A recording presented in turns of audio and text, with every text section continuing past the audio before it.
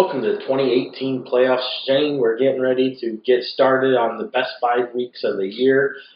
We already had the bracket breakdown come out, and we have a lot of good matchups there going to take place. Obviously, the most coveted place to watch playoff football this year is coming in Class 2A, where there is a dynamite schedule, both top and bottom, north, south. Yeah, uh, it's really it's really loaded. I mean, all the way on down from the north, the top half of the north, my God, and then uh, you know the bottom half of the north worked out pretty good from an EPC perspective. And then in the south, you you have Tuscola, you have St. Teresa, you have Maroa Forsyth, you have Athens, and a bunch of you know two A, like you said. I mean, it's just it, it's good. It's very good. It is. I mean, and then you take a look at Class 1A, and you looking at Class 1A, I mean, it went exactly how we thought that it would. Um, with the, as far as the breakdowns are, obviously we had the coin flip with Princeville and Ottawa Marquette to determine which direction um, that was going to take as far as one and two seeds, so we could determine where Polo and Orangeville were going as far as their round one matchups. Yeah, um, we kind of wondered how that was going to play out. I mean, that was the only thing really deciding the difference in the brackets that we've seen. Um, it could have worked out a little better, I think, based on what we're going to see happen. Um, I think Orangeville would have matched up a little bit better with Princeville than they do Ottawa Marquette, but you know that's the way that goes. Yeah, I mean, you got to take the drop in the bucket, and obviously that's the way it plant panned out. So Orangeville's going to have to play Marquette. But we do have one NUIC matchup taking place in the first round, and that's going to be Dakota at Stockton. Obviously, we won't break down the game just yet, but um, it definitely provides us with an intriguing matchup to say the least. Yeah, it revives an old rivalry, um, one that's really going to hit full swing next year when they start the new conference alignment. And I don't think these teams have faced in the playoffs since about 2004 when Stockton was on their way to the state championship game. So, I mean, it's been a while. Yeah, it has been a while since they've met up. Um, but overall, I mean, you take a look at what 1A North has, and it's very glaring. Lena Winslow and Aurora Christian Yeah. heading for a quarterfinal breakdown Yeah, they're on a collision course here, and uh, I don't know that anybody's going to really get in their way. I just really would have loved to see them on the opposite side of the bracket, but you know, you, you do what you can, and that's a game that we'll be looking forward to in three weeks probably. Um, just got to see what happens before then. Yeah, I mean, uh, more so for Lena Winslow than Aurora Christian, but uh, you definitely cannot overlook uh, a team in front of you as it is the playoffs. Um, we've stated it many times. You got to be ready to go come playoff time and take it one week at a time. And if you're not ready to go, you're gonna find a way to lose. So that's just it. And you don't have to get into the picks quite yet, but looking at the way the bracket falls, if Aurora Christian doesn't make the quarterfinals, if Lena Winslow doesn't make the quarterfinals, something went terribly wrong. Right. I definitely agree with that, and um, it's something that's going to be a lot of fun for sure, to say the least. Um, to see how those things prepare going down the road, and then you know taking a full swing look at one A South with Tuscola, Warrensburg, Latham, and Athens all going in the two A bracket. That really opens up one A South for a lot of teams as well. Yeah, it's basically here is who wants it. Um, not a clear favorite. Um, obviously, there's some there's still some good teams down there. Don't get me wrong, but there's not one that you can just pick out of the bracket and say this is absolutely going to be the team Right. like we thought we might have seen a couple weeks ago. Correct. I mean, not to be mean or anything, but it's definitely probably the weakest 1A bracket in the south part that we've seen in quite a long Yeah. time. I would agree with that. Um, I mean, we've come to accept that there's a lot of dominance from the north to the south, but really, you take a look at even the last 10 years, the north has won six, the south has won four as far as state And, titles. are and it doesn't it doesn't feel like that though. No, it does not. But we'll get into the matchup breakdowns right now. All right, first matchup is going to be number 16 seed Polo as they enter the playoffs with a 5 and 4 mark, and they are going to Princeville, who is the number one seed with a 9 and 0 mark. And Shane, we already got a game time on this one as they'll be played on Friday night at 7 p.m. Polo making their 22nd playoff appearance. Their last appearance was in 2016, where they lost in the first round of Dakota, 42 to 21. While Princeville is making their 21st appearance, last year they made a quarterfinal run where they finally met their demise to Forreston 42 to nothing, and they come out of the Lincoln Trail Conference, which in years past has been a very tough conference, but this year has definitely been a little bit down. Um, but it's been one of those years where we definitely projected Princeville to be where they were at. Last year we said that being a junior dominated team, this was a team that we could easily see going 9 and 0, and here they are. Yeah, um, their first round matchup last year was in Dakota, and had the opportunity to cover them. And you know, I, I get a roster, and you're looking at the roster, and it's junior, junior, junior, junior, junior. And it's just like, wow. Okay, so you look at that, it's like this team should go nine zero, and here we are, they're nine zero, playing against a five and four polo team that's on their way out of the program here, um, as far as eleven man is concerned. Um, still, still. Uh, willing to put up a fight, though. I mean, I know they had a rough go against EPC last night, but uh, that's the way it goes sometimes. Yeah, I mean, they've definitely done a lot of surprises um, as far as Polo is concerned. I remember at the beginning of the year, I picked them to go two and seven because I expect them to be down. Um, and then while we're giving out the projections, I said I I kind of feel bad because I think Polo's going to be better than where I'm projecting them to be at. Yeah, we. I think we both kind of fell into that. I think I might have had them at four and five or five and four. Actually, I think Four and five was Yeah. where you were. Yep. I mean, right on that cusp, and you know they. I'm sorry, but yeah, they still were Orange Bowl, and here we are. Yeah, yeah. Um, and boy, was that a big game. I Yeah. mean, look at the turn of a difference as they both come into the playoffs at five and four. Yep. Um, big game there. Big turnaround in momentum for Polo in that game, and I mean, if all games looking back, you could point at that one. You could point, you know, they had the six to nothing loss against River Ridge in a game that they probably felt they could have went one there, and that would have even boosted them higher up had they got that. But they're here now, five and four. Um, like you said, last year in 11 man football, going to 8 man football next year. But Polo's always been a football town, so it's a great thing to see Yeah. that the Marcos are in the playoffs as they get ready to leave the NUIC after this season. But they got Princeville. Yeah, um, Prince Princeville's going to be a hard draw for them. Um, you know, Polo knew they were going to be 16. It was just whether they're going to be Princeville or Ottawa Marquette. Uh, if I'm a Polo fan, I'm glad I have Princeville because I don't want Marquette. But it, I mean, pick your poison. It is. Um, both teams are very tough. Um, they both return a lot of experience, and with that experience also comes playoff experience. We're not just talking varsity level experience. We're talking playoff or Final experience Right. last year. Uh, I mean, and the Marquette's sake, I mean, you still got guys that are playing off of those semifinal teams back in 15 and 16 that were freshmen and sophomores Yeah. playing on those teams that are Yeah. here this year as well. So I mean, it it does go a long way. But uh, you know, I'm hats off to Polo five four, a good way to uh, end the campaign. Unfortunately, I, got to take Princeville. Yeah, I do. I'm, I'm, I'm very excited for the Marco football program, Coach Bumstead and his staff getting these guys prepped up and into the playoffs in their last year in the NUIC. But I do like the Princes in this game.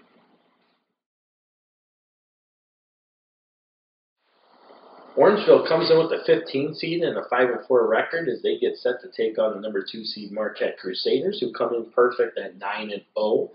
Orangeville is making their 13th playoff appearance, making their back-to-back playoff appearance for uh, just the third time in school history, or is it the fourth time now? Either way, it's the first. No, it's actually, yeah, it's the fourth time. Anyway, it's the second time since 1995 and 96. Um, Boy, who was who was on that team? Jay Doyle and Willie Gott. uh, head coach and assistant coach for the Broncos now are both on those teams.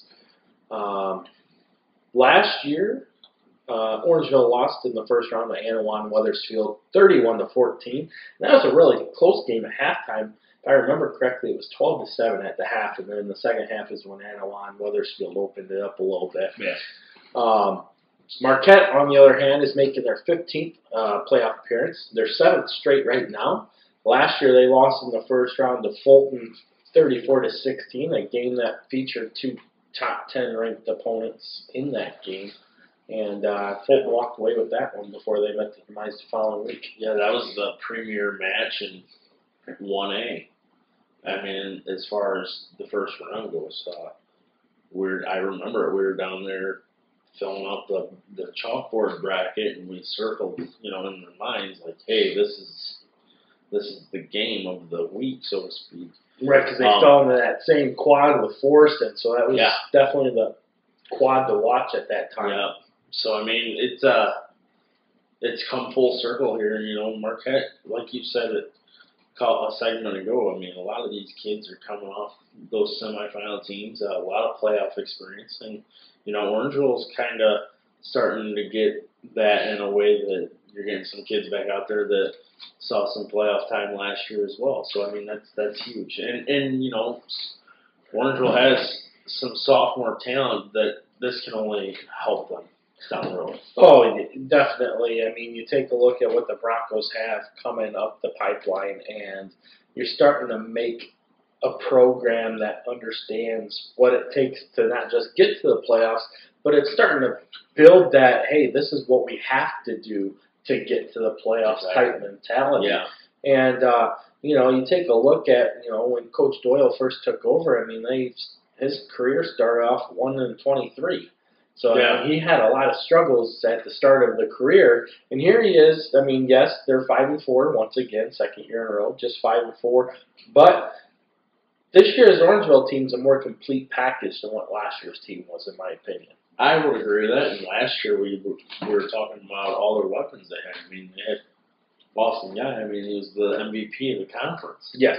So, um, you know, and they made some switches there from you know quarterback and backfield and whatever they decided to do. You know, and I felt pretty good about them going with that matchup with Wethersfield because we looked at it. It was going to potentially be had Dakota beat Princeville, it was going to be a Dakota Orangeville in the second round had they taken care of anyone. But uh, neither team was able to come through. But as far as this year goes, I mean, you know, it's it's one of those things where I would have rather seen Orangeville match up with Princeville, but here you are. Um, I mean, it's really these four teams. You know, it was Polo, Princeville, Orangeville, and Marquette. You could have threw them in a hat and seen where they were land here tonight. Oh yes, definitely. And I mean, Orangeville definitely got the tougher draws. You already stated grabbing Marquette. It will be interesting to see how this game transpires. I think that Marquette's going to have the line advantage for sure. But being a run team, Orangeville likes to face run teams, so it gives them an opportunity as long as they can get healthy and be ready for week or round one of the playoffs. Um, this could potentially be an upset opportunity, but I like the Crusaders in this matchup. I got to go with Ottawa Marquette as well. Number 10, Dakota gets set to take on number 7, Stockton in Stockton as Dakota comes in with a 6 and 3 mark. Stockton comes in with that 7 and 2 mark. Um, Dakota is making their 24th appearance. Uh, last year they lost to Princeville in the first round, 27-24 in double overtime. Game that you were at, Shane, that you really uh, enjoyed taking in. Um, Stockton is making their conference record 32nd playoff appearance as last year they lost in the second round to Aquin 21 to 14. Again, a game that me and you both took in. Yeah, And boy, that was one heck of a ball game there. yeah, it really was. And uh, going into that, we didn't really give it much of a chance. I don't even think. And you know, but anytime those two teams met up, it was a heck of a game. Um, Dvorak made sure that we had enough paper because he carried the ball it 41 times. 41 times. Um, Man. So when I cover this week's game, I'll be sure pack an extra stat sheet. 'Cause that- but I mean, in all reality, I mean that's what you do when you got a running back like that. You feed him the ball. Yeah, and I mean Snyder, Coach Snyder for Stockton has definitely worked the game plan around making sure that Dvorak is healthy and getting the ball a lot uh, to carry his team where they need him to go. Right. Um, this this is a little bit of a different territory for Stockton, though I believe. Um, I mean, even though Dakota is not as physical as the big three in the Northwest, they're still going to be a little bit more physical than what Stockton's used to seeing on a week in and week out. Um, they're going to have their hands full. They are, and here's the reason more so than anything is, excuse me, but um, Stockton is still a young team. They, don't have a lot of senior experience. We're on the other side of the ball. Dakota has got a lot of experience. And in games like this, this is where you start seeing that experience prevail.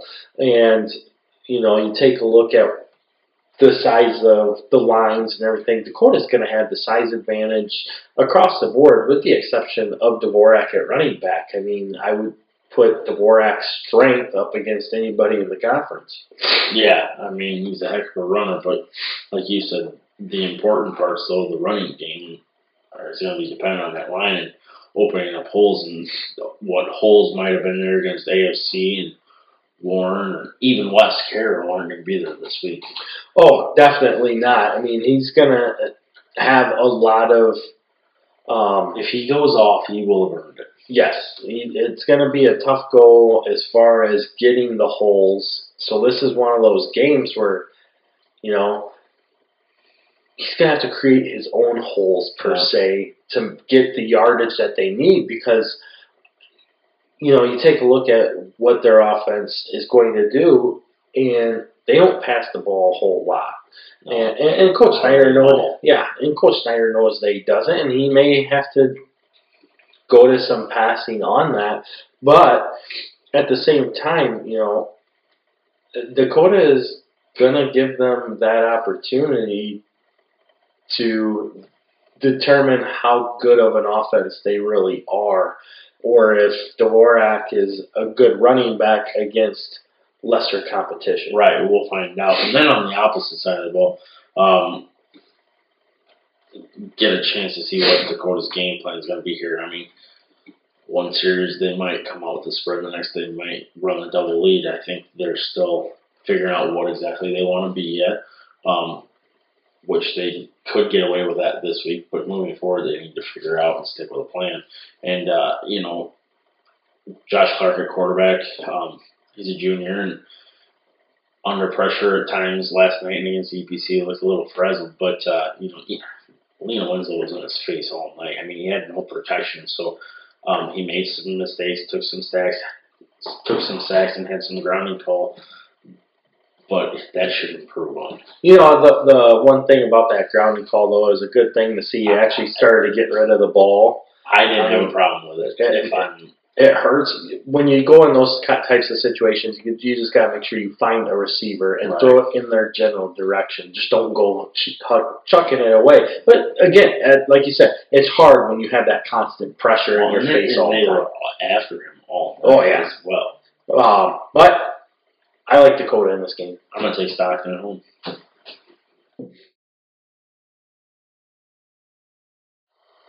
Forreston comes in with the number six seed and a seven two record as they get ready to play host to number eleven seed Kirkland Hiawatha, who comes in with the six and three mark. Forreston is making their 24th playoff appearance. Last year they lost in the semifinals to Lena Winslow, 12 to eight, as Lena Winslow went on to win state. Hiawatha is making their fourth appearance in school history. Their last appearance came in 2016 when they lost in the first round of Leroy, 40 to 12. And Shane, if you take a look back, you know one of those three losses for Hiawatha was to Aquin back in week one, and here we have Aquin at four and five sitting at home, a team that Forreston dismantled. Yeah, yeah. Um, not a lot I can really say about this. I just want to Forreston should win this pretty comfortably. Um, I mean, we can talk about a little bit because I mean, Forreston's really starting to do some good things, and not a lot of people are talking about them, and I'm sure they're fine with that. Well, you know, when you first saw Forreston at the beginning of the year, they were kind of cocky, arrogant, to a fault. Uh, they go into Lena Winslow and they didn't show up in the first half, and then they come out in the second half of that game, and they actually started to take it to Lena Winslow, but the deficit was so much already that they didn't have a chance to get back in it because after the first quarter, I mean, at, well, it was a, okay, so it wasn't after the first quarter, but it wasn't far into the second quarter when it was already twenty nine to nothing in favor of Lena Winslow. Then Forreston started to make it a game. And, and, they only allowed one more score to, for, or to Lena Winslow the remainder of the night. Yeah. Um, then they follow that up the following week with their big win over Dakota, a game that, to be quite honest, we had picked against. Um, I mean, even going back to the preseason, I had Dakota picked ahead of Forreston to begin with. But uh, you take a look at that matchup, and yeah, they came out, they shocked everybody. And then they follow that up with another tough game against EPC where they actually laid an egg and came out flatter than flat. Yeah, and realistic. I mean, we were wondering what they are, and you know, I mean, they are putting games together now. But something to keep in mind is they haven't played anybody since week four, Yeah. right? I Yes. mean, it's been five weeks since they've had a competitive game. I mean, Amboy, East Dubuque, Galena, West Carroll. I mean, Athlon. Akron. No offense, but not exactly five games in a row that are going to get you prepared for the playoffs. However, they're doing what they need to do against them. Yes, they are. They're winning the way that they need to win. And let's keep in mind, it's the exact same schedule that they had the year before, and they end up in the semifinals. And now you take a look at how they break down into this uh, playoff format. And with the sixth seed, I mean, their biggest matchup is going to come most likely in the quarterfinals if they meet Marquette. Yeah, that's that's it. I mean, if Marquette's not there, Forreston's walking to the semifinals again, in my opinion. Yeah, um, because if it's not Marquette, the next best option is probably a Dakota team, and we've seen what happens between those two when they meet up. They they generally take it to the Indians. So uh, Forrest, I mean, seriously, Forreston has a gift here. However, they just need to uh, take care of it. Yeah, as far as Hiawatha goes, I mean, Coach Kenaway has done a good job as far as getting the Hawks back into the playoffs. Um, they did what they had to do coming out of the Northeast Athletic Conference. However, like we stated, outside of Ottawa Marquette, the conference just does not have a lot of strength. Right. One of their wins is also a forfeit win against Our Lady of the Sacred Heart, who uh, decided to go into eight man football last minute right before the season began. Um, so, you know, it's good that they're here, but their trip's not going to last very long. No, I, I like Forreston and uh, should see the subs early in the third. Yeah, I like Forreston this matchup as well. Number four seed Lena Winslow comes in with an 8 1 mark, which we anticipated them getting after their week four, week five loss to EPC. Um, they're getting ready to take on Lewistown, who comes in with a 13 seed and a five and four mark. Lewistown needing to get a win last night in week nine to make the playoffs. They did that in a relatively close game, closer than I thought it would be when I was looking at it projection wise. Yeah. Um, but they did. They're here, and they get the defending state champs in round one. They're here. They came, they saw, they left. um, realistically, uh, this game's all about Lena Winslow. Um, you know, early in the year, they kind of showed signs of not really playing up to their potential. EPC game comes to mind over and over and over when I think about that. And, uh, you know, I was talking to some of the guys on the sideline last night, and I said, you know, how have things been going? Because, you know, you hear stories when you, you don't see these teams week in, week out. Um, it's impossible with just the three of us to do that like that. Um, but they they put uh, a lot of it on their game against Dubuque. They said you know that it was you know it was a running clock, but fundamentally sound. They started playing better against Dubuque. They followed that up with probably their best game here against Dakota last night, and not you know it's basically what we've anticipated you get the schedule. I mean, you're the defending state champs. Every year is different, but it's it's hard. Um, you know you're good. Um, you want to get to the playoffs, but uh, I mean, however, there are some holes on this Lena Winslow team compared to last year. I mean, the secondary has a few issues, but I don't see that being a problem this week. Well, and that's just it. You know, it's one thing that Coach Aaron always prophesizes on. We need to be playing better football in week nine than we are in week one. And, you know, we've always seen where Lena Winslow kind of, especially in their state championship years, they stumble. I mean, outside of last year. But prior to that, they stumble in the opening weeks.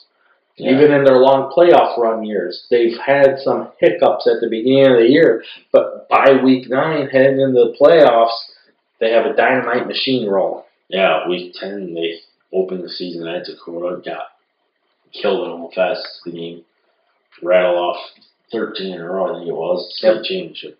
Uh, 2013 they lose three regular season games. They win state championship, and then last year it was kind of a it was the Lena Winslow show from start to finish. Right. I mean, they still they They still faced some adversity, but but they overcame it and they they definitely uh, made things happen.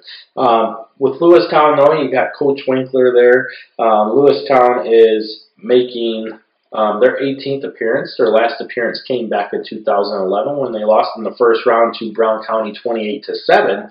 But the year prior to that, they had to play Lena Winslow in the semifinals during Lena Winslow's first state championship campaign. Lena Winslow obviously won that game, but Coach Winkler and his staff is very uh, accustomed to what Lena Winslow does as um, they have played them. But they come out of the Prairieland Black Conference, and we've already seen teams last year that uh, got routed by lesser teams than what Lena Winslow is. And case in point, Abingdon Avon losing to Milledgeville, Cuba North Fulton losing to Stockton. That's the same conference that Lewistown is Yeah. coming out of. Yeah, and then uh, God forbid I say it, but if the upstate is handling them, the Northwest Should be. should be a little bit more yet. Yeah. Yeah, it's I I like Lena Winslow big in this. Yeah, I like Lena Winslow big. I would not be surprised if, if this is over by halftime. As far as a running clock is concerned, um, I definitely would be shocked if Lena Winslow does not have a 40 point lead plus by the half in this game. All right, so now we're getting ready to take place with Milledgeville comes in with a three seed nine zero mark as they get ready to take on Fulton comes in with a 14 seed and a five and four mark. Milledgeville is making their 22nd playoff appearance. Last year they lost in the second round to Lena Winslow 49 to 16 in a game that uh, Lena Winslow was actually up 42 to nothing at the half. Um, so the running clock was rolling by the time the second half started. Uh, Fulton is making their 20th appearance, and last year they lost in the second round to Forreston 30, 30 to 6, a game in which uh, was up pretty large in that one quick and early as well. Yeah. Uh, Fulton coming out of the Three Rivers Conference, obviously they've played some strong schedules. Um, with the fact that they have uh, 42 playoff points, um, they've gone up against the likes of uh, Orion and Sterling Newman, in which they definitely got rolled in those games.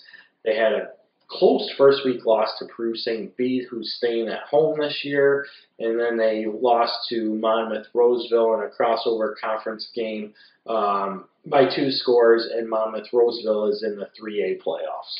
Yeah, um, you know, you look at their schedule and you can kind of be thrown off. They they lose big to the big dogs, but you know, barely beating Morrison, but then in return, really taking it to Rockridge. Yes, that's the uh, I was just looking at. It kind of makes you wonder what they are. Um, you know, I said offset.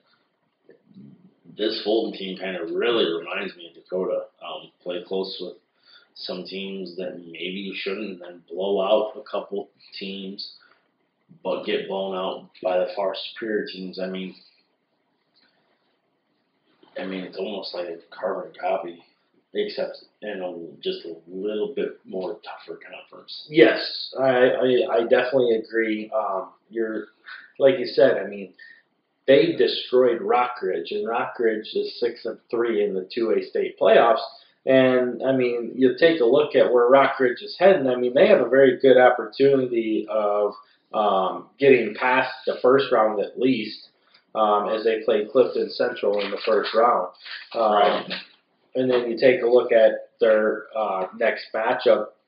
If they were to win that game, which they have a good opportunity to win that game, and they're going to be taking on um, the winner of Orion and uh, Fieldcrest, which is most likely going to be Orion. So they get another second, second round team. yeah, they're going to be a second round two A team. Um, and they beat them. Fulton beat them, and here they are. They're getting ready to set, Right. take on I mean, Milledgeville. Yeah, and Milledgeville nine zero, you know, our upstate conference champion. Um, hasn't exactly had a hard schedule, but you know they've taken care of business. They have taken care of business. They've done what they've needed to do with the teams that were played in front of them. And I mean, one of the things I like about this Milledgeville team is they are tough. They they they were tough last year. I mean, said it last year. They were probably the most physical team out of the Upstate Conference that we saw Oh, yeah. last year. I feel the same this year. They're very physical, but they've also had some ball games that were very close against Aquin and Orangeville. Teams that are four and five and five and four. Yeah, I mean, and, and that's no knock on Aquin or Orangeville because Aquin is a team that we can definitely see progressing upward by next year for sure.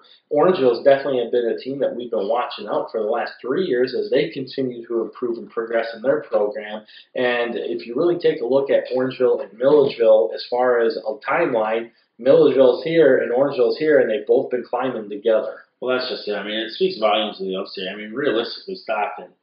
I'm gonna throw Aquin in there because the way they played late. Um, Orangeville, Milledgeville, you know, I know Milledgeville went 9 0 and people aren't going to like it, but those four teams are pretty close to each other. Um, so, I mean, you know, you, you go with it. But I I got to go with my gut here on this one. I like Fulton on the road. Yeah, I do. Um, This is going to be a good game, but I do like Fulton on the road.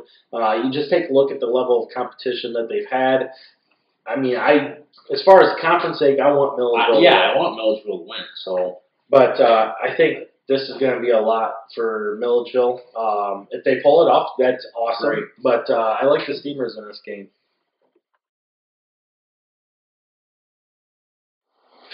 All right, our last game of the night gives us EPC, who comes in with the three seed after they uh, apparently lost the coin flip. thank God. Yeah, works, works out in uh, the Wildcats' favor for sure. Thank you for coming north Illini West, even though that did make the most sense. Yes, it did make the most sense, and it was the right thing. Because you could see that that was definitely one of those things where in the past, you know, here's Carthage and here's Hamilton, and Carthage goes south and Hamilton goes north, Yeah. or vice versa. We're almost facing that with Or the fact that you got four nine and O's in the top bracket and only two in the south bracket. could have split them up. But uh, no, they they definitely uh, did it the right way, Yeah. which is good to see. To have a little bit of integrity when they're doing these brackets. Yeah, I mean it's bad enough we don't get a one through thirty-two anymore. yeah, right, exactly. So if we're gonna do north south, let's make it a legit north south. I mean, Right. it makes most sense. Um, anyway, you know, EPC nine and zero. They're getting ready to set take on with uh, Chicago Harlan, who comes out of the uh, Illini Windy City Conference of the Chicago Public League. They come in with a five and four mark. EPC is making their 19th playoff appearance. Last year they lost in the first round to eventual state champs uh, GCMS 50 to 14, where Harlan is making just their fourth playoff appearance in school history. Their last appearance was in 2010, where they were in the 5A state playoffs and they lost to Vernon Hills in the first round, 51 to nothing. And if you look at the prior two, uh, or their first two uh, playoff appearances, they came in 08 and 09, so they actually had a string of three straight playoff appearances. In those first two, they were in Class 6A, and now here they are in Class 2A. Now that's a heck of a drop off. Yes, it is. But with that, their enrollment has dropped plenty, plenty as well as they sit at a 381 enrollment now. Solid three or solid two A school. Uh, yeah, so I mean, 381 definitely solid in two way. Um, but you take a look at what uh, Harlan has done, and the Falcons have not played a whole lot of consistent competition. Their biggest game, or I should say team that they faced off against was Chicago Orr, who's also in the uh, Class 1A playoffs, and they lost that game 40 to nothing uh, back in week 8. Uh, and then, you know, they lost to uh, Chicago Agricultural Science, who's 7 and 2, 28 to 20. In Ag Science, if you remember, lost 50 to nothing to Orr as well. Yeah. So It's you, you know it, it, it's always for us. It's always hard to tell how the Chicago public leagues are going to play out because we don't get a lot of experience of coverage with them. it's almost like they're in their own. I mean, they are their own league, but it's almost like they're doing their own thing, and then come playoff time, here have some teams. Right. because you don't get the coverage, you don't get the scores until the next day or maybe the Monday.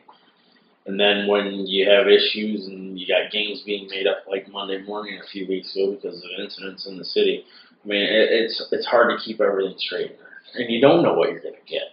Yeah, exactly. And I mean, one of the things that we've always seen over the years with the Chicago teams is a lack of discipline. Yep. You see a lot of talent, A ton of talent. but you don't see the discipline, and then they get smacked in the mouth. And when they get smacked in the mouth, they kind of quit. Yeah.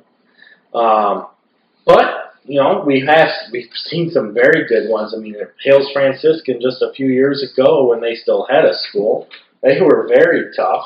Yeah. And I mean, that one team that they lost to Forreston with, um, they had three Division One players on that team. Yeah. And they just, because of the lack of discipline, they couldn't put it all together, and they lost in the second round.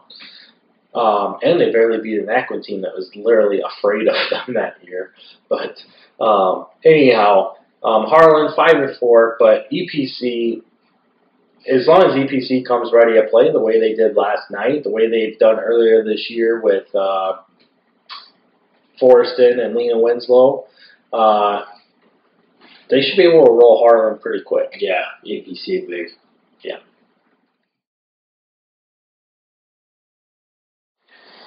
All right, Shane, it's that time that we start to pick our predictions as far as who we see making it to Champaign in five weeks.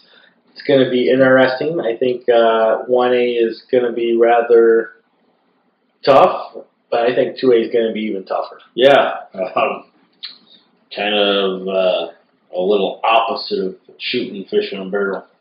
Fill out a bracket and hope for the best. Yeah yeah, very I much mean, so. One A is going to be easier to pick than two A, I think. Should be. I Um, mean, as far as the have to- north, the right. south is going to be tough. Yeah, and not in a good way. Right.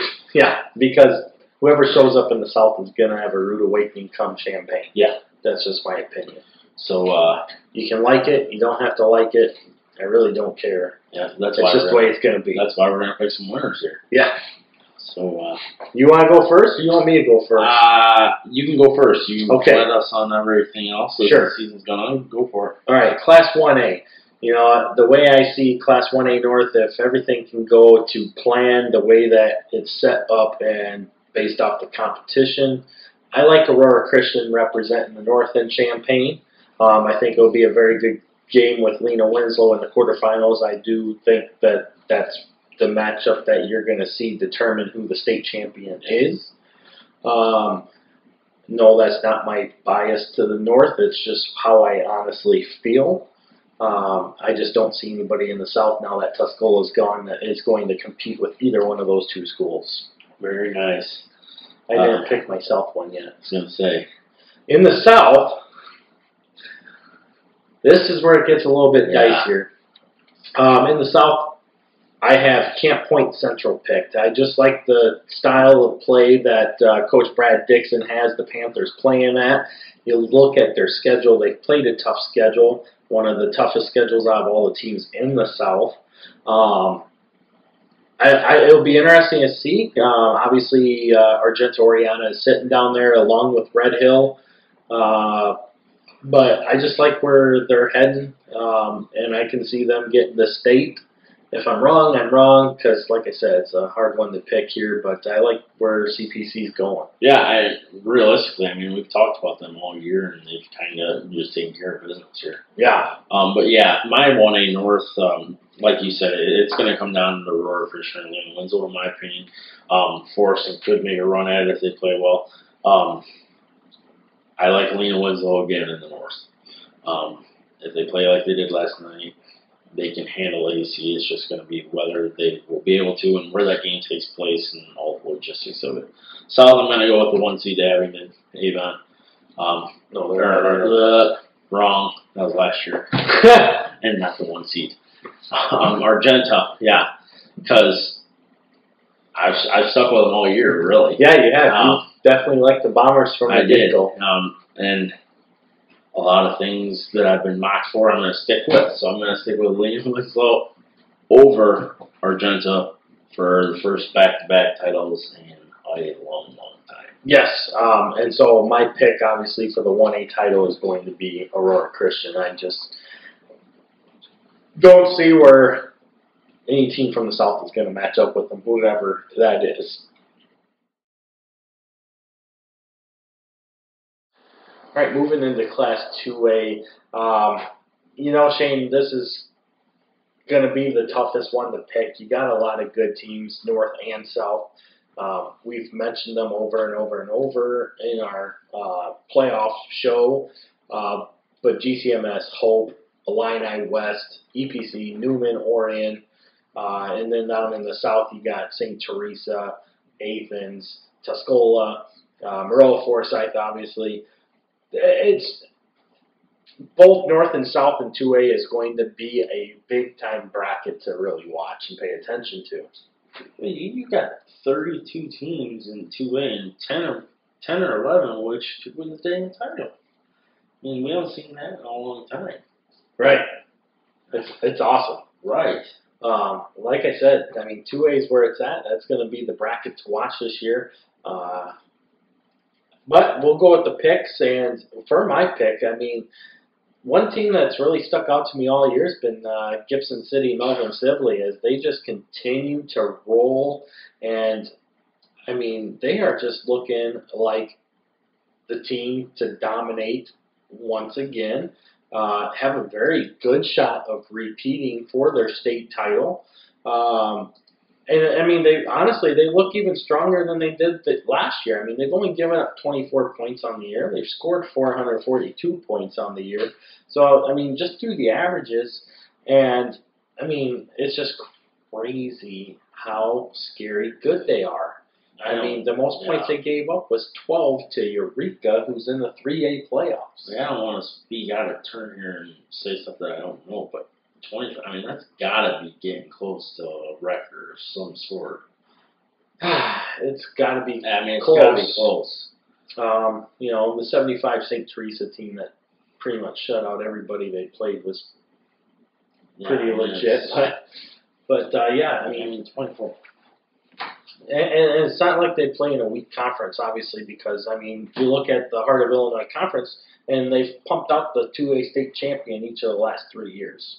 Yeah. and they've been in they're in the title game two years prior to that as well in 2013 so i mean good competition there no doubt about it um, but i like a rematch gcms and Maroa forsyth and i got gcms picked to win again Wow. Um, would love to see that, though. All right, uh, my 2A, yeah, I mean, GCMS, no secret in the North. Um, that's what I'm going to go with. Uh, but they're going to face a little more challenges than what they've had to this point. I mean, their closest game was a 28 point win. Um, at some point in these playoffs, they will be tested.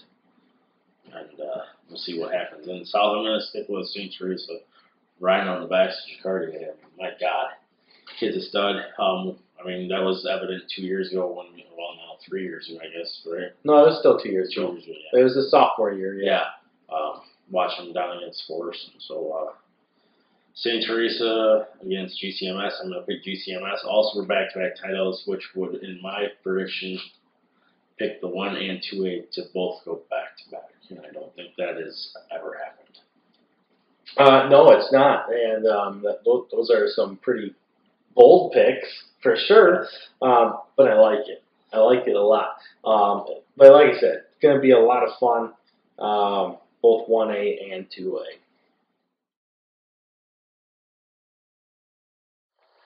All right, Shane. So that wraps up what we have as far as our playoffs uh, matchups and where we see the predictions taking place.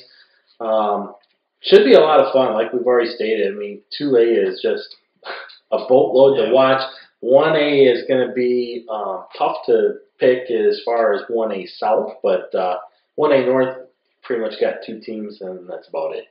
Yeah, um, we'll see what happens here. Uh, nonetheless, it's always great this time of year, especially this first couple of weeks where you get more games and you got a better chance for upsets. Um, you know, it- it's just fun. Yeah, I mean, it, it's going to be fun. I mean, obviously anything can happen. Let's not let's not forget that. I mean, we could see some bigger upsets happen. Mm-hmm. Um, and you never know. I mean, maybe some teams that we're not so sold on prove us different, and I mean that's always possible too. Um, but it's gonna be a lot of fun. Yeah, for sure. And we get to go back to Champaign this year, which is Yeah. even more fun. Yep. But uh, we'll get the times posted for all the games as we get those in here. We've got four games out there already. And of those, we have Polo at Princeville on Friday night at 7 p.m. Dakota at Stockton at 1 p.m. on Saturday. Orangeville at Marquette is at 1 p.m. on Saturday. And Fulton at Milledgeville is also at 1 p.m. on Saturday. So we're still waiting for the EPC game, the Lena Winslow game, the Forreston game to get scheduled. Um, so we just have those three games left. Um, we'll also be rolling out our bracket challenge. We'll get the brackets up on the uh, Facebook and Twitter pages, um, the good old tweeter machine. Um, but we'll get those brackets up there and we'll get the bracket challenge going in place. If you're in 2A, don't submit a bracket. It's over. Yeah, right. I'm claiming my 3P. There you go. Shane wants the 3P title in the 2A bracket. Also, right now, I'd like to give a quick shout-out to Hayden Keltner. He was our NUIC Pick'em champion for the uh, regular season, so good job, uh, Hayden. I'll get a hold of you as far as how to get your winning T-shirt to you, so congratulations on that. Um, but be a lot of fun here. You got something to say? Um, no, I was just thinking about some things, so should be a good week. Trying to plan how you're going to win two-way again, aren't you? No, I'm not. Uh, I was just thinking of some other things. So Oh, okay. Well, get up to the games this weekend. It's the playoffs. It's the best five weeks of the football season as we start the road to Champaign. As always, root for the NUIC.